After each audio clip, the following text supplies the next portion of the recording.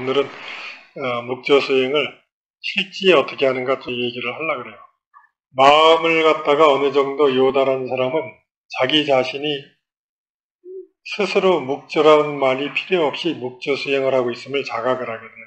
수행을 하다 보면은 마음이 안이나 바깥의 어떤 사물, 사물에도 마음이 뺏기지 않고 자기의 본성이 그대로 현전할 때가 있어요. 이걸 현점일념이라고 하는데 보통 수행 중에서는 이제 이 현점 일념을 만들기 위해서 일념을 단속한다든가 아니면 화두를 든다든가 아니면 염불이나 강경들을 하지만은 사실은 그런 것은 다 방편이고 실제 제대로 된 수행은 이 일미 공적 이것이 나타나야 돼요. 그래서 현전 일념.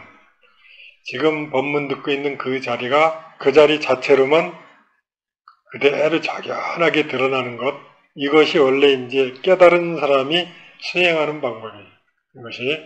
근데 보통 이것이 되지 않을 때 근기가 낮은 사람들한테는 절을 시키고 경전을 읽게 하고 주력을 하게 하고 또 염불을 하게 하고 이렇게 여러 가지 방법을 쓰지만 그 방법의 최종 목표는 일미공적이라는 거예요. 한 맛으로 안과밖에 빈 상태였을 때 호련히 드러나는 자리가 있어요. 이제 아, 이런 것은 뭐 체험을 해봐야 하는 건데 언어상 그렇다는 거예요.